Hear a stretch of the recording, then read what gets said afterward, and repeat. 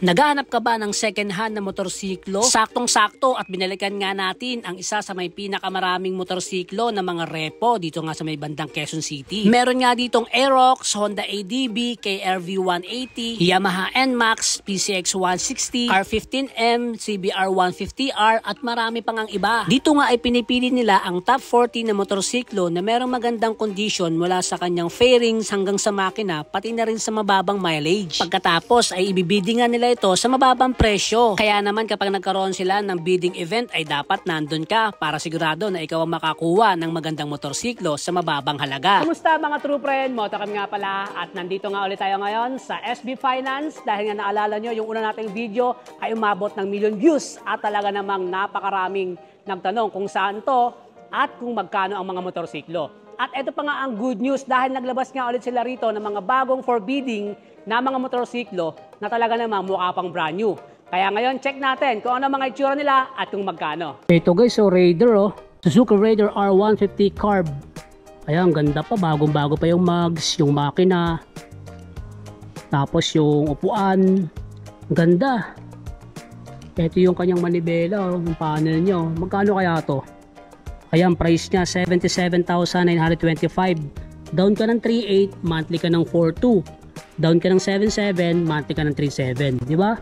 Para dito sa Raider, oh, Honda Click 160. Ito, Gixxer. Yeah, makinis po. Magkano ng Gixxer? 76,000. Down ka ng 3.8, monthly ka ng 4.1, di ba? Ang baba na nun. Ito, 92,925. Down ka lang ng 6.9, monthly ka ng 4.5. Para dito sa sniper, naka 6 speed na yan, oh. Sa mga naghahanap ng PCX ang price ito is 113,000 down ka ng 8.5 monthly ka ng 5.6 ay tsura nyo kaya meron pa tayong click. Ito meron pa tayong sniper dito.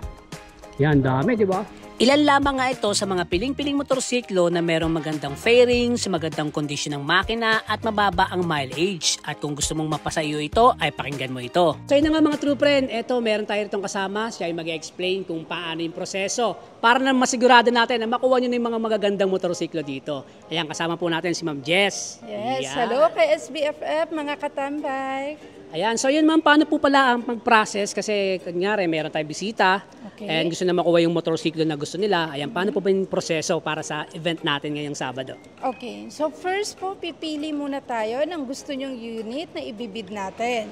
And second, syempre bago tayo mag-submit ng bid natin, kukuha o magbibigay tayo ng 1,000 pesos. Yun po is to secure your bid.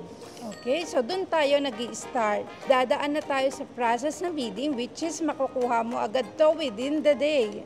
Uy, Yan. so ganun lang pala kadali, no? So, yes. magbibigay ka lang muna ng 1,000 pesos and then kung ikaw ang manalo, within the day, mauwi mo na agad yung motorsiklo. Yes, Grabe, of course. At syempre, yun nga, no? Kung ikaw nga ang manalo at nakuha mo nga itong uh, Honda Click 160, yes. yung 1K na binayad mo is ibabawas na doon. Di ba? Yes, And then kung hindi naman po manalo, ano pong gagawin doon sa 1K? I-reimburse natin yung 1,000 pesos ang dineposit sa atin ni client via mm. Gcash yun. At within the day din yun. At hindi lang yan, no? Balita ko, ma'am, meron pa tayong mga pa-freebies, ha? Ano may mga freebies yes. natin, ma'am? So let's say ikaw ang, ma ang makakakuha ng unit na binid mo. So, ibig sabihin, sir, hindi lang motor ang iuwi mo. May Uy. helmet ka pa. Uy, wow, Bukod ayos. doon, meron pa tayong pa-free foods sa September 14. So, please, join us sa, sa September 14, Tambike. Hindi ka na. Yun. So, grabe, di ba?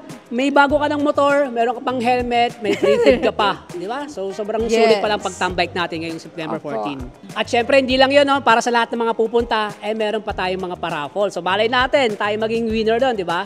Kaya naman sobrang sulit ang pagtambike natin, di ba? Ayun na nga mga true friend, nakakita nyo na kung gaano pa kaganda at ka-quality ang mga kondisyon ng mga motorsiklo dito. Kaya naman, kita-kits tayo sa Sabado, September 14, 9am hanggang 4pm dito at nakatambike tayo sa Tambike sa SB Finance. So paano mga true friend? Ride safe po tayo lagi and God bless.